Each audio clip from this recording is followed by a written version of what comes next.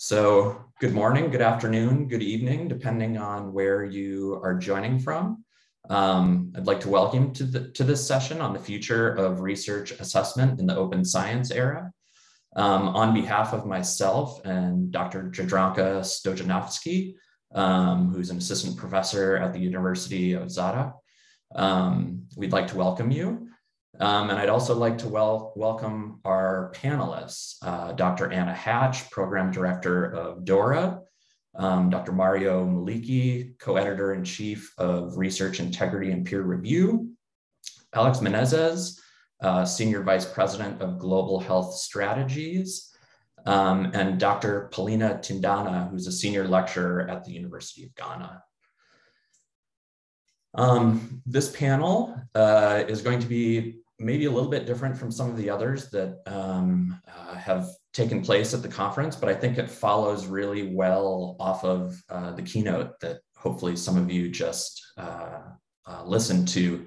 Um, we aren't going to do slides. Um, we're going to try and have a little bit more of a discussion and a guided conversation. Um, so the areas that we're going to touch on are uh, research assessment as it plays out within the sciences, um, frameworks that are in place for research assessment, um, and also research integrity and peer review as it relates to research assessment. And then we're also going to take a look at research assessment by uh, a, a, different set of stakeholders or a different set of entities and how um, science is used to inform policymaking um, and as the keynote from uh, Dr. Badra uh, in the previous session laid out the importance of communicating um, and building capacity and trust of citizens who need to act on the results of research. And given that um, uh, we're covering such a broad swath of types of research assessment, um, I asked the panelists um, to try and uh, make sure that we're very clear in each one of these sort of case studies that we're talking about, um, that we take a look at and are explicit about what is actually being assessed. Is it the research itself, output of research, or the researcher doing the actual work? Who is doing the assessment, and then for what purpose? So with that, I'm going to stop sharing my screen and hopefully we can have all of the panelists. Um, welcome to you all. Um, and I, I, think I will start uh, uh, with Anna. Um, Anna, if you would be willing to introduce yourself and provide an overview of DORA and some of the highlights of research assessment frameworks, that would be great. Absolutely. Thank you so much, Brian really excited to be part of such a thoughtful panel and share some of DORA's work that's really focused on supporting systems change at academic institutions. Uh, for those of you who aren't familiar, DORA is an international nonprofit initiative to improve the ways that researchers are assessed in academia. We're supported by 16 different organizations that include research funders, publishers, scholarly societies, and academic libraries and you can see the full list of supporters on DORA's website. And sort of as our name implies, the DORA stands for the Declaration on Research Assessment. Um, and the idea to write the declaration really came out of the 2012 ASCB annual meeting, where there was a community conversation of researchers and academic editors, from what I heard sort of at the poster hall, that started discussing um, how journal-based metrics were having impacts on the reward and incentive system, um, really starting to influence sort of who was getting rewarded, what that meant for the composition of the workforce, what, what these metrics were measuring um, versus what was trying to be measured. Um, and also thinking about the ways that their influence was having on research culture and the ways that research was being conducted. Um, so this discussion led to the declaration that was then published in 2013. Um, and while there's a number of different recommendations for a variety of academic stakeholders, there are two main ones, um, which is to stop using journal-based metrics for hiring, promotion, and funding decisions. Um, and to start considering the value and impact of all research contributions. And really, from the time that it was published all the way up until 2017, the declaration was collecting signatures um, and raising awareness within the community. Um, but in 2017, it was kind of a big inflection point for us. So a group of organizations came together and started recognizing that while the declaration was successful at bringing attention to the need for culture change, they weren't seeing um, the widespread change that they had hoped to see. Um, and this is really um, was a turning point where DORA sort of transitioned from a policy document into an active initiative really to help support and facilitate culture change. And I think this, this is transition is so important because research assessment is very difficult to solve, um, primarily because it can be considered as a systems challenge. It involves multiple stakeholders, um, and making this even more difficult is the fact that individual interventions are not going to be effective. Um, so point solutions cannot solve systems challenges. Instead, um, to solve this type of challenge, it really requires a collaborative systems approach that addresses the underlying culture, infrastructure, um, and conditions. So, so we, we take that point sort of very seriously and try to think about, you know, what are the ways that DORA can help to cultivate responsible research assessment and really work to change the system itself. Um, so we do that um, primarily through community building and engagement, knowledge sharing, um, and resource development sort of with the community to sort of help support and facilitate change at academic institutions and funding organizations. Um, I think, you know, really relevant to today's conversation is that we have these grand societal challenges right now um, that are demanding research to identify solutions. You know, thinking about climate change, continuing to curb um, the COVID 19 pandemic, um, but we also know that research assessment drives researcher behavior and helps set these research agendas. So, a big question is how can we align these priorities and societal challenges with the ways that researchers are evaluated? Um, so, you know, keeping that in mind and also thinking of sort of what's the state of play, um, where are we at? So, in, in general, I'd say, you know, DORA, in addition to collecting signatures, um, all of the organizations who signed DORA really form a community of practice to improve the ways that research is assessed. Um, we've seen a number of these organizations now starting to announce plans to approach research assessment. Um, and there have been a few who sort of moved into that next phase of policy development and implementation. Um, but really, where we're seeing is that the majority of organizations are falling into that sort of have made commitments to change, have announced plans, and the next big step moving forward is working on policy development and implementation. Awesome. Does that, does that answer your question? It was a little bit long. That's perfect. Okay. That's perfect. Thank you, Anna. Um, next up is Mario Malički. Um, Mario, you're an editor of uh, a journal on research integrity and peer review. Uh, I'm curious how you see research assessment through those uh, lenses. Thank you, and thank you all for joining us today. Um, so my role is sort of twofold always. One is the lens of research integrity, which we can consider to be a role of codes of conduct when how we implement them. And in a way, we can think of DORA as that. But the problem with DORA is, as Anna mentioned, organizations need to sign up. So there is no overarching binding um, policy that forces countries around the world or even individual organizations to follow a very strict guide on how to do researcher assessment or research assessment itself. If we look at the European Code of Research Integrity, there's nothing in it directly related to research assessment or to assessment of researchers themselves. So a new and a new uh, European scoping report that just came out on reforming policy says we first need to come up with a document that would bind things.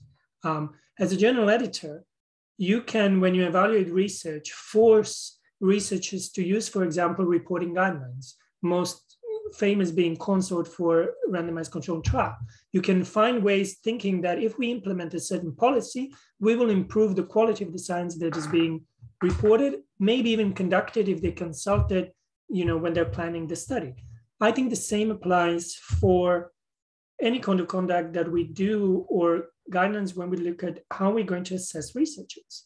It would be great that there are overarching things, but if we're moving towards an open science and open transparency of things, there is a very nice sentence that I'm going to quickly copy here um, in, in the chat for people to see. When we look at the European um, Code of Conduct for Research Integrity, it says we should be communicating research in a transparent, fair, and full and unbiased way.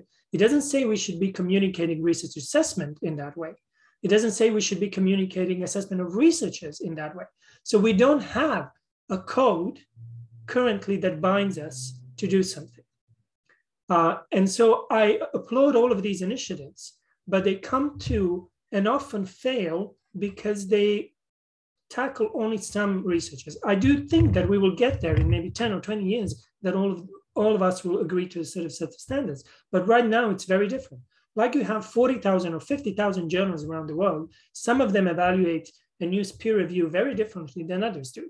Some funders use open peer review, some don't. The same is with research or researcher assessment. If we talk about researchers being assessed, how many of you know how many applicants applied for the same position you were applying? Do you get to see their CVs? What has happened?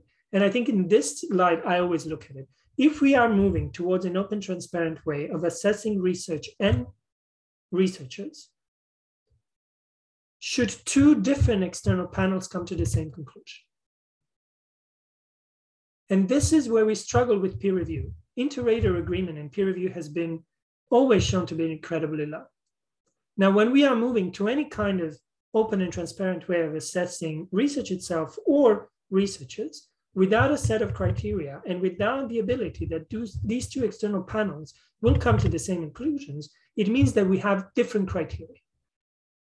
And these need to be acknowledged. We often don't talk about them. So what I hope to see is that we actually make these criteria for assessment much more clear, much more transparent, and then see where we can go from there. Great, thank, thank you, Mario. And uh, as for the question that Mike asked, I'll reply in the chat. So. Perfect. Um, so that's great, and you know, thanks to Anna and Mario to give uh, for giving uh, their remarks sort of about research assessment within the sciences and between um, science organizations and scientists who are conducting research.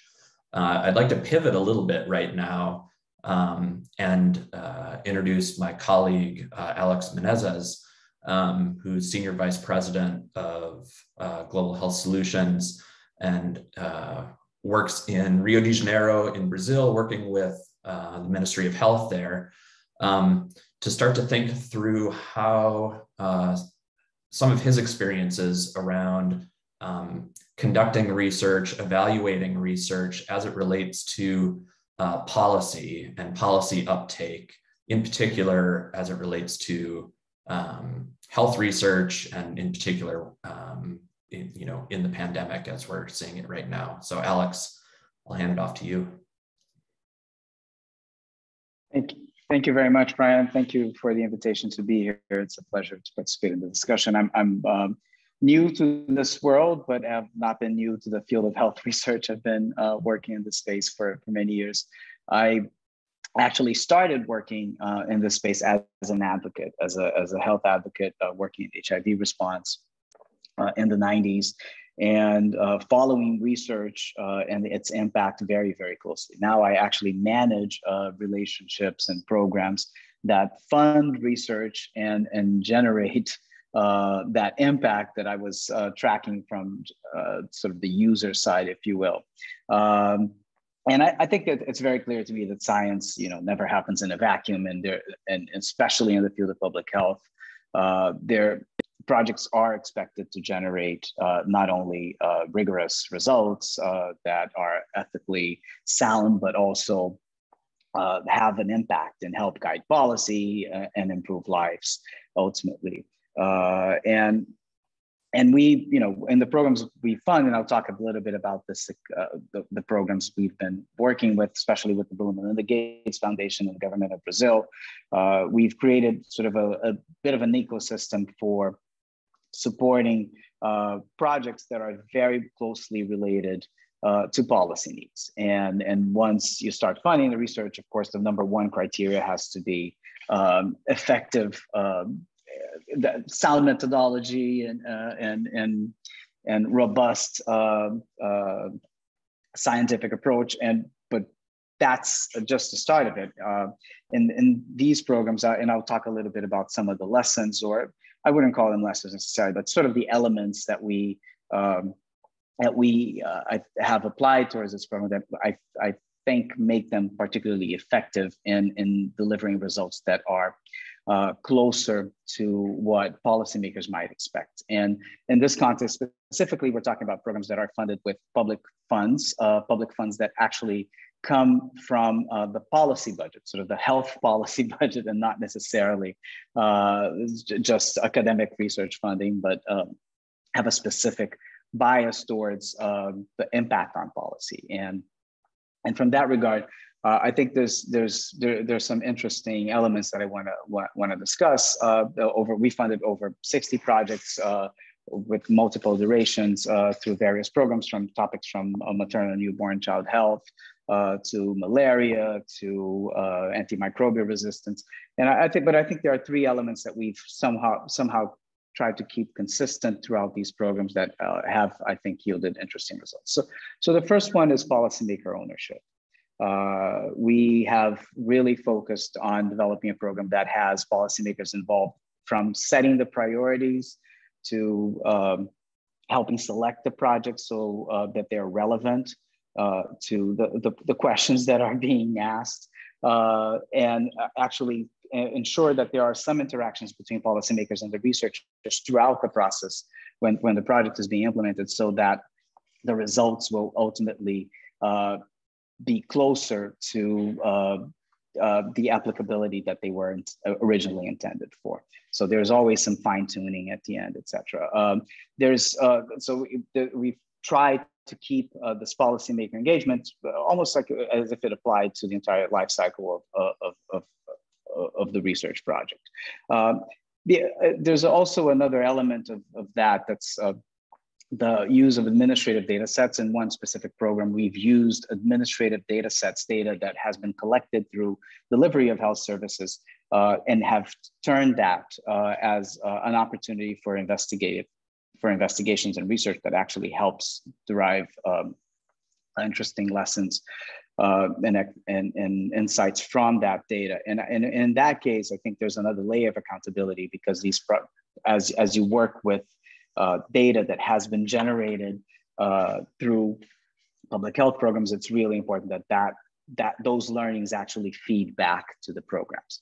Um, I think the second component I want to highlight uh, is this idea of uh, not only you need the policymaking engagement, but uh, we've been encouraging researchers to really think through uh, what outputs they're, they're pursuing. And the diversity of outputs is really important all research programs we supported have delivered uh, on um, the traditional research outputs, academic papers, you know, peer reviewed and, and uh, uh, preferably in, in, in solid um, publications. But in addition to that, we've always encouraged researchers to actually generate, um, whenever applicable, it doesn't apply to all projects, but generate uh, uh, other formats in which their data could be put to use. And I'll give you a couple of examples. So one researcher looking at uh, potential risks uh, on vaccine related to vaccination coverage, identifying areas uh, in which vaccination coverage was not um,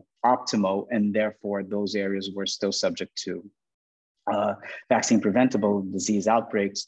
Uh, we uh, that research actually created a, a full dashboard and, and put that online uh, both for the population, but especially for policymakers to identify, map that risk, and be able to, to, to act on this to improve uh, vaccination coverage. So in a way, this was a data sciences project very much focused on, on translating that data to make it more actionable uh, from a policy perspective. Uh, I think that the Uh, the third point that I, I want to cover uh, at this point, uh, which is, I think, the, the, the third point uh, in terms of the elements that the, the, three core elements, uh, as I mentioned, uh, policymaker ownership, the diversity of outputs, and, and I think the last one, which I think is particularly relevant at this point, is the ability to pivot.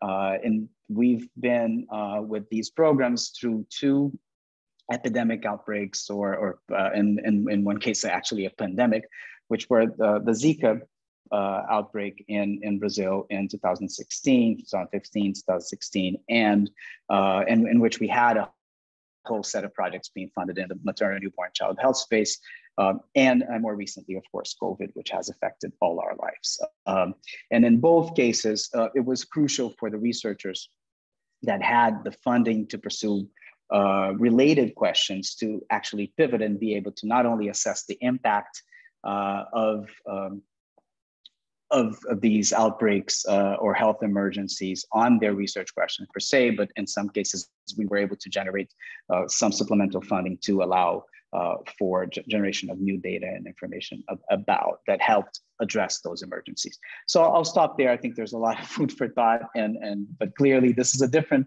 uh, perspective. I'm not in academia, uh, so I, I, I have a, a, quite different perspective on on some of the points you guys are raising. Perfect, Alex. That's exactly why you were invited uh, for that different perspective. Um, so next up was supposed to be Paulina Tindana. Uh, unfortunately, Paulina has had some internet connectivity issues this evening. Um, she is an, assist, uh, an assistant uh, professor at the University of Ghana in Accra. Um, and so um, in lieu of having uh, Paulina um, be able to talk about her amazing work, I do want to at least highlight a, a little bit of the work that she's doing.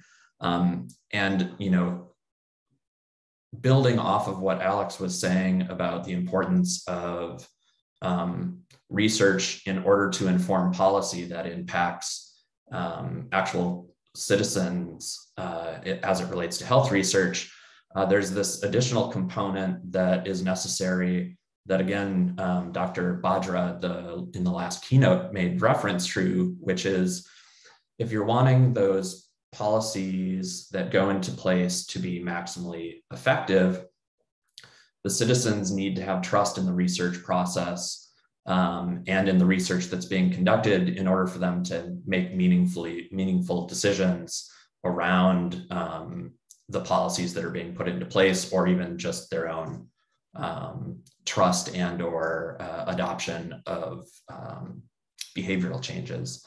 And so some of the work that Paulina has done, um, she has done a lot of work in the field, uh, actually interfacing with research participants and community members in Ghana as it relates to um, biomedical research. Uh, she did this really amazing project that um, showed research participants the journey of their biospecimen samples when they were asked to uh, provide biospecimens.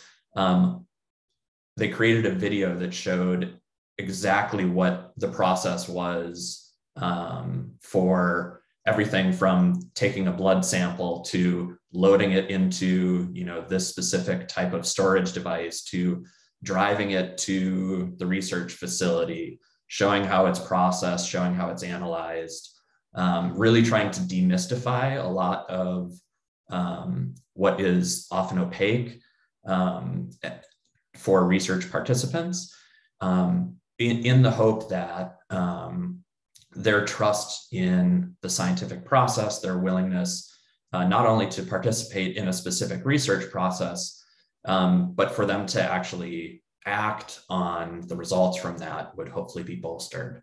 And so Unfortunately, uh, Paulina wasn't able to um, join us. I still hold out hope she will, will be able to join by uh, the end of our discussion. Um, but at this point, um, I think uh, you know I see a lot of going a lot going on in the chat here. Um, but I think the first thing I want to do is direct a question back to Anna and Mario. Um, so now that you two have heard a little bit about um, research assessment and its importance for um, the development of policy and um, communication with uh, parties that are not just other scientists. I'm curious if either of you have thoughts on uh, ways in which researchers could be incentivized um, in order to um, think about research, their research, and the audience that they're um, uh, communicating to. Absolutely. I'm happy to jump in on this. Um, I think, you know, I'd mentioned before that you know, research assessment and how especially researchers are evaluated drives behavior um, and has influences on what types of research are even being conducted. Um, so as part of one of DORA's activities, um, a collaboration with the European University Association and SPARC Europe, um, DORA launched Reimagining Academic Assessment last December. It's a case study or a case study repository um, from universities and national consortia that really seeks to highlight the key elements of institutional change to improve academic assessment. Um, and I talked a little bit before about sort of the change pattern that DORA is seeing right now is sort of you know, the announcement of plans, the development of policy, and then its implementation. And our goal really with these case studies is to understand, you know, how do these policies come into being? Um, who was involved in that process? What does it look like? What are the motivations? What is the timeline for change as a way to sort of increase knowledge sharing with the community? Um, and one of these I think is particularly relevant for our discussion today, um, which is the Open University in the United Kingdom. And I'm happy to drop the link into the chat once I answer. Um, but sort of as you might expect um, from the university's name, um, they have sort of an embedded commitment to openness, engagement, knowledge exchange, um, and took sort of an evidence approach to research assessment reform. Um, so initially, sort of they publish they published an impact framework, um, really to examine where they were as a new university and how they wanted to chart move forward um, to promote um, assessment, um, not only assessment of sort of knowledge exchange, public engagement, societal impacts, um, but how they could that embed that then within the research assessment system. Um, and what it ended up happening was sort of through the sponsorship of the Pro Vice Chancellor, um, who's responsible for professional development, he created a diverse working group to rethink the academic promotion criteria and ultimately, this led to something called the Knowledge Exchange Profile, which is a new promotion route um, that professors can use um, to be promoted in their jobs. Um, and I believe sort of as of its introduction in 2015, six professors have been promoted through this knowledge exchange profile. And so it's a different type of, it, it's a different framework for assessment for a different track of researchers. Is that correct? Exactly. Yeah. So traditionally, there's sort of the the the research research track um, and teaching and service um, is valued, but this is a separate track um, that really is there to recognize contributions to public engagement specifically. Um, and yes, I see a question in the chat. i am happy to drop a link in there. Um, and I think what's what I really like about this approach too is that um, they built in an assessment working group that continues to perform sort of a survey every other year to explore sort of different aspects of their new criteria so they can continually optimize and refine. Awesome. Um, Mario, uh, you put something in, in the chat here, which is uh, intriguing to me. Um, where you're talking about grant peer review for funders. Funders are often also um, tied to policymakers, but they're not often the exact same entity. And so I'm curious if you, from your expect uh, your perspective, how you have seen that play out in the in the peer review of of grants.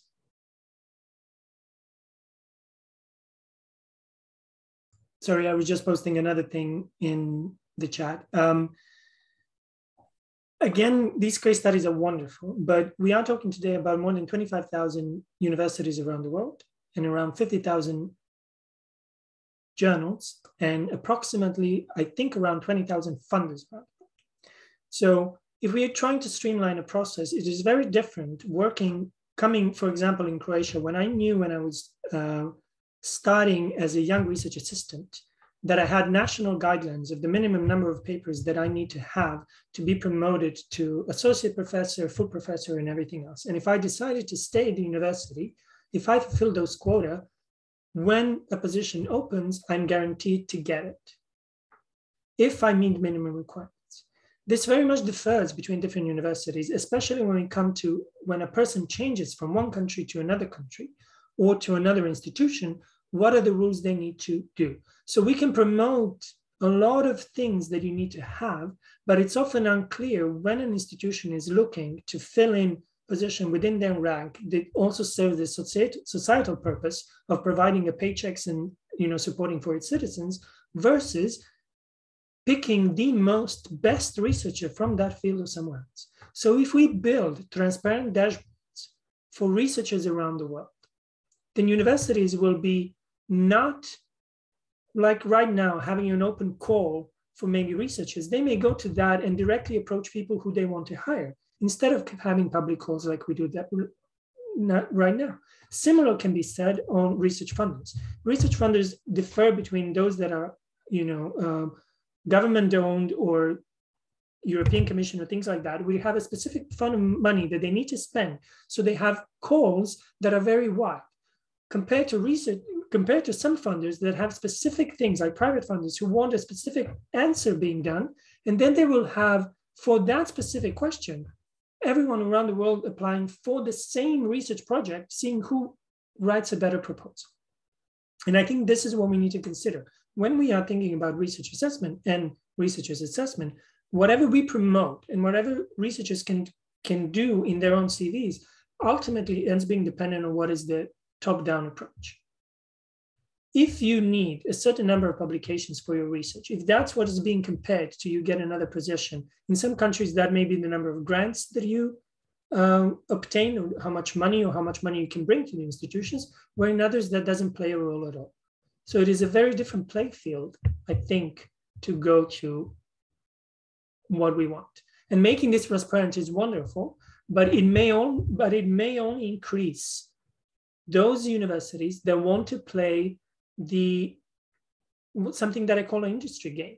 If we're working in industry, if you're working in tech, if you're working in many private industries, you have recruiting companies, specialized recruiting companies that you know look for talent and get those people to work in those companies. You have much more companies investing in assessment than we do at universities. So it's a very, you know, it depends on what kind of society we want to build rather than you know just what we want to put on cv i can promote a lot of things on my cv what i think are more important than others. But if those are not going to be considered for recruiters by linkedin or whoever it doesn't matter. If i need something for switzerland if i want to apply for switzerland i need to know how the system is there. Which is very different than something in japan or in thailand. Absolutely. Um, there's a question from david Shotton. i'm going to come back to that one um, uh, and and jump to one uh, for Alex. Um, so Mike asks, uh, from a policy government funder perspective, how do you adjust for the varying pressures, backgrounds, assessments of researchers? I even imagine researchers from northern Brazil have gone through a different experience than southern. Um, yeah. I, th- I, think that's a, I was just uh, it somewhat this somewhat relates to the previous uh, discussion we were, were going through here because it's it's been really interesting to use these experiments in which you know there's a uh, relevance for policy element uh, that comes into the selection process. Uh, when we we do these calls for proposals, uh, typically they they actually engage two different agencies. One that's a typical traditional research funder and the Ministry of Health. One that uh, which CNPq, which is uh, the National Council of Research, actually acts as the disperser of the funds. Uh, and they have a whole system for assess for for selecting proposals, which they do and apply for the majority of uh, academic grants in Brazil. But for these programs specifically, uh, because of the policy considerations, the relevance uh, considerations, that actually opens the door for researchers to be assessed for their uh, ideas and for the best proposals, not only for their CVs and for the for their academic credentials, which is typically a very high, um, uh, a very important advantage in the typical CNPq selection process. So for these specific calls, we made it make it very clear that you know there there are different weights to to to the elements that are being evaluated, and uh, policy relevance being uh, a very important one. Um, and in that regard, uh, it's crucial that you actually look at the diversity of the applicants and, and the, perspective, the different perspectives that they bring uh, and their ability to work with different populations. So it's uh, so we've been uh, over the years uh, increasingly better at uh, looking at that geographic diversity, but very much from the start because of this element of, of looking at the policy relevance, we've always been able to bring in young investigators into the fold. So it, this hasn't been uh, although it's been a program, a program for um, scientific excellence, it hasn't been just a program for veteran scientific excellence. Uh, there's been a lot of um, new blood coming into the system, which in, in more, more, recently we've been particularly focused on ensuring that uh, geographic diversity so that we're actually catering to different populations. Great. Um, shifting a little bit and, and jumping back to uh, David Shotton's question, um, how worried are panel members about the creeping commercial dominance of scholarly analytical data used for research assessment? I've just answered that one in chat, so maybe some other people can go have, have at it. Anna, do you want to speak to that at all? Yeah, I think um, I'm just looking at sort of the question again in the chat. Know, one of the main sort of tenets of DORA, in addition to sort of let's not use journal-based metrics and focus on holistic evaluation, is that aspect of being transparent about how researchers are evaluated. Um, and a lot of sort of the scholarly analytical data that's held by commercial publishers um, is sort of still still closed off. Um, and so I think that is clearly clearly a challenge. And I think when we're looking at some of the other the other um, aspects of that too, is that there's an overrepresentation of data from the global north in these databases. Um, so when you think about geographic equity, um, there are clear disparities there. Um, but I'd be very curious to hear sort of what Alex thinks of this from a funder, funder perspective and, a, and, and the evaluation of proposals.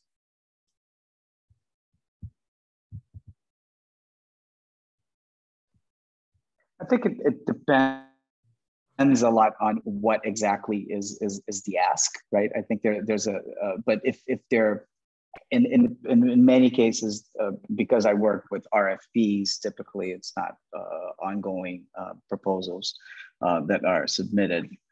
Uh, there is always an ask, and that ask should be tweaked to ensure to ensure that that diversity is reflected. And, and increasingly, we're working on on efforts that not only generate um, uh, new proposals and interesting uh, research uh, applications, uh, but also generate new data sets. So uh, there's a whole set of projects that we've been working with on, uh, on, on our data sciences RFPs that have generated data sources that, that, have combined data sources that may or may not have been public previously, and, and then uh, have fed back those data sources to the open science space to generate uh, uh, sources that can actually be used by other researchers. So it's, it's, it's, it's not an easy eh, um, answer and, and it's not an easy process. There's a lot of uh, trial and error. Uh, uh, it's not quick,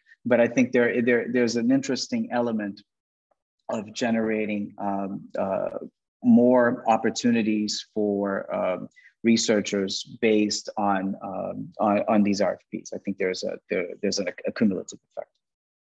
And, and in those RFPs that you're evaluating, how, you know, you mentioned um, there being a, a, a, heavy weight on uh, policy, um, how it relates to policy.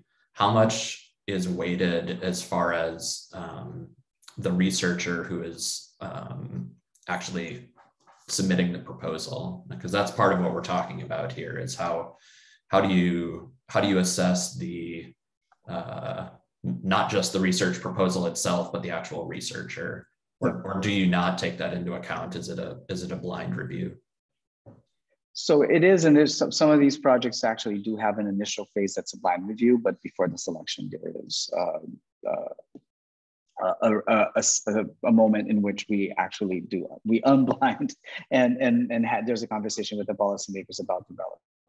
And I think uh, uh, and I, I absolutely hear the point that these are small experiments, and so we're not talking about something that can be applied broadly, but it, it or, or uh, in, in, indefinitely applied, I should say, but it can be applied more broadly that for sure, but not indefinitely. Uh, but in these cases specifically, I think there uh, what we've been looking at primarily has been the feasibility. If that researcher actually has the credentials to deliver on that project, and less about uh, their ability to to uh, their, their track record of academic excellence, uh, but do, do they come from a reputable, uh, from an institution that's solid enough to actually carry out an ambitious research project? Or do they have the expertise? Do they have the proper team? You know, if they, if, if the teams, if permission on the team is available, that's also considered, but it's mostly a, when the policy is the driver, these, these RFPs have looked primarily as uh, feasibility as a main criteria in terms of the capacity of the researcher.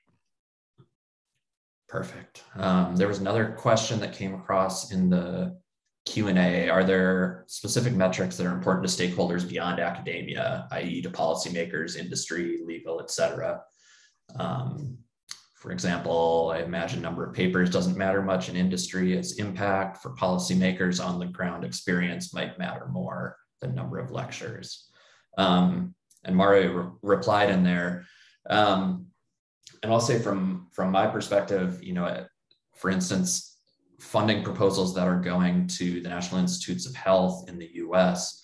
Uh, they have changed their biosketch formats recently to have uh, less uh, emphasis on number of publications, and instead they um, ask for three areas of impact of your research, and they ask you to write essentially a, a little mini abstract with supporting references. It's not like they're not um, uh, asking for proof that you're able to publish, but really um, trying to push um, researchers in, in that domain um, to be more explicit about what impact their research is actually having and what, what changes are, are happening. Anna, you want to chime in? Yeah, and they're, they're not the only research funder that has been doing that. Um, so DORA also has a community of practice specifically for research funders. Um, we have qu quarterly meetings to discuss um, sort of new, new ideas about assessment, what organizations have been working on. And a common theme throughout the past year um, has been the development of something called sort of a narrative CV, which is really sort of reimagining the traditional CV um, into a structured format where you can have written descriptions of different types of contributions. Um, so I think the most common one, in addition of, to sort of the biosketch in the US, is this resume for researchers, which was developed by the Royal Society in the United Kingdom. So that has four, four different sections to describe sort of impact on sort of your research impact, um, societal impact, um, impact on sort of tra trainee development. Um, and there's there's another category that, of course, now that I'm on the spot, I can't can't quite think of. Um, but the goal of this type of CV is to really be able to reconceptualize what is impact, um, make room for a broader broader array of achievements. Um, different funders have been implementing it.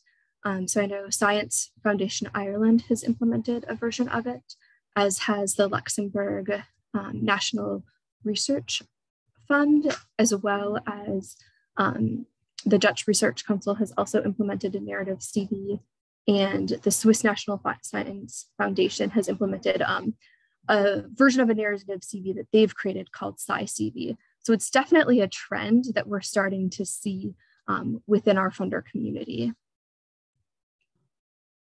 If I may comment a little bit on that, I have to say personally, I'm not a huge fan of narrative CV, even though the European Scoping Review um, report on research assessment actually encourages them, because we've seen in many applications of students to universities that um, we don't all have the same literacy, literacy skills in writing a very good narrative.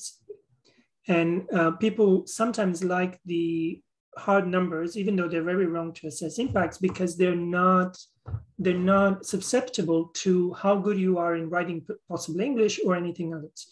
If you had narrative CV templates that you could only use specific sentences or specific adjectives or pick between three sentences, this would be maybe a fair playing ground.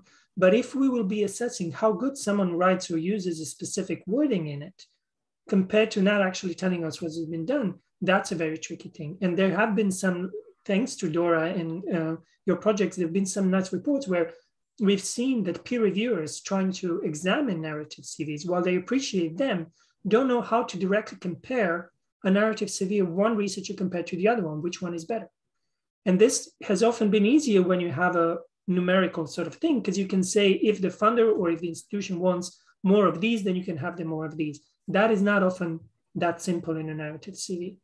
While they're yeah. better to capture some things, it's harder, I think, to directly compare accomplishments between researchers.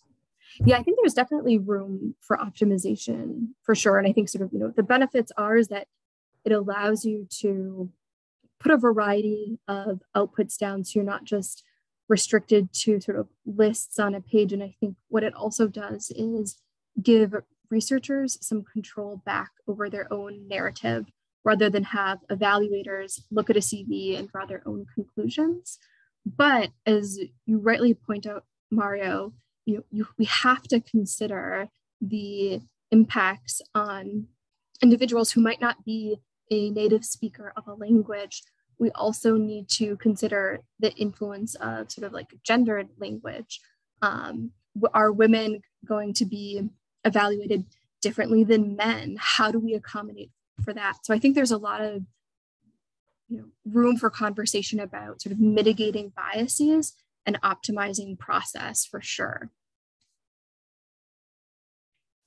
So I think what this is part of what this is highlighting is this constant tension between you know the quantitative and qualitative assessments um, that are honestly both necessary um, and that tension is good and that tension is hopefully going to lead us to a spot where we can quantify what should be quantified and um, you know there's a whole field of mixed methods research that could potentially allow for uh, a different type of assessment in this in this problem space where um, you know an initial qualitative assessment is done and then it's quantitative from that point uh, forward.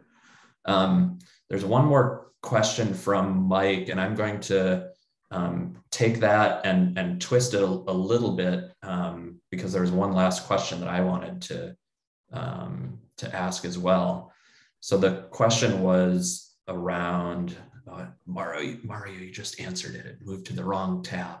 Um, how do y'all how do you all view as the crux of the problem in this problem space from your perspective and what change would make the biggest impact on that problem and and this is this i think goes right along with uh, where you see research assessment evolving in the coming years um, which is sort of where i wanted to um, end the panel um, in particular if if you think there are any sea changes on the horizon if there are big changes that you think um, may totally change the way that um, research and researchers are being assessed.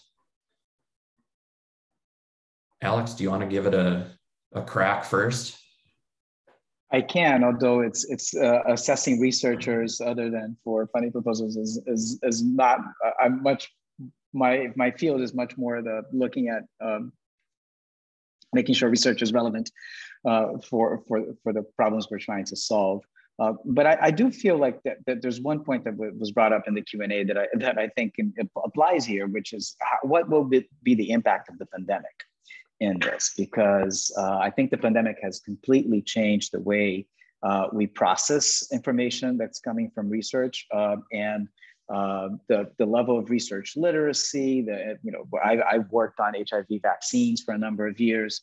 Um, and, and it's, it, to me, it was fascinating process to see, you know, neighbors, friends, parents talking about, you know, some really complex uh, clinical trial concepts that, were actually informing efficacy, applicability, duration of protection, et cetera, which have significant relevance for all our lives. And and suddenly we're all following that. So i think uh, ultimately how uh, society was able to actually assess the outputs of, of this research pipeline that uh, that was generated to to address the pandemic i think is uh, is going to have a lasting impact on on on on all of us and especially for health research but uh, probably for other fields as well yeah, fascinating to watch it unfold in real time. Fascinating and sometimes terrifying.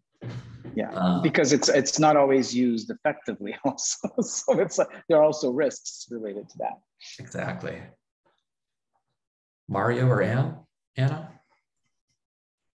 Well, I, I posted it in the chat. I believe what I would like to see in the future happening is that, um, for example, ORCID becomes the main CV for all researchers around the world, that it's automatically generated based on whatever assessment criteria and things that we collect today with metadata and bibliographic databases, including societal impact metrics, whatever we think teaching, whatever goes out there, and that those CVs are created automatically by us rather than being susceptible to how good I am in, you know, making it prettier or having a better font or you know, getting out there.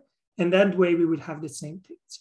Uh, and the rest is, again, I think we always forget the societal impact of hiring pers- persons or accepting them. There are quotas that we don't often admit that we want to hire 90% or 95% of researchers belonging from our own country because these are their taxpayers' money if we're talking about public institutions versus private ones who can aim to get whoever they want or not want to get. Researchers want to choose where they live, where they have kids, where they you know go for holidays. This is an important aspect that is not often captured in you know in where we go. Um, and I often think of it as really going back to the students' assessments we get 50,000 applications per year and you need to choose students on criteria we know that are bad.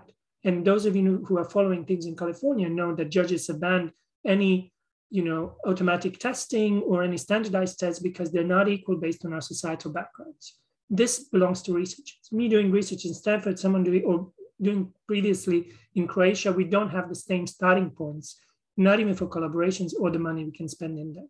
And we are being evaluated possibly on the same level. It is not, that fairness is not always taken into account. Really good point. Uh, Anna, you want to have the last word here? I don't know if I want to have the last word, so someone can jump in after me. Um, but I'm happy to sort of comment. And I think what I've seen over the past couple of years now is a shift in thinking uh, you know this really is a systems problem that involves academic institutions, research funders, publishers. So how how can we facilitate this collective action?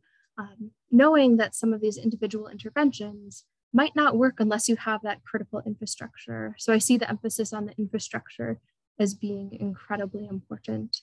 Um, the other thing I think that really sort of motivates me and encourages me um, is the increased awareness of the need for responsible assessment, but more than that, the thoughtfulness about how research is being assessed. Um, so really looking down, like we are sort of the discussion we had about the narrative CVs, highlighting its strengths and its weaknesses, what it can and cannot measure, and aligning that back up to, well, what do we want to measure in this situation? Um, what can we use to measure it what does it what does each metric or indicator tell us and not and how can we sort of build out that portfolio of view of youth researcher assessment. Um, so I think that sort of thoughtfulness and recognition um, and really willingness to have the dialogue and conversation um, gives me a lot of hope for the future. Hope for the future is a great way to wrap up a panel, I think. Um, there is one last question from Mike, uh, Anna, and Alex. If you can take a look in there, they're uh, asking for a couple of URLs. Um, but while you're working on that, I want to sincerely thank um, all of our panelists for um, their willingness to join us today. Anna, Mario, Alex, on behalf of Jadranka and I, um, and on behalf of the entire organizing committee, I really thank you. Um, this has been a super, super interesting conversation. Um, and I look forward to continuing on with the rest of the Force 11 Force 2021 conference. I think there's just a couple sessions left. So thank you all for joining and uh, be well. Thank you so much. It was a delight to be part of the conversation. Thank, Thank you. you. Thanks for including me. Okay. Bye.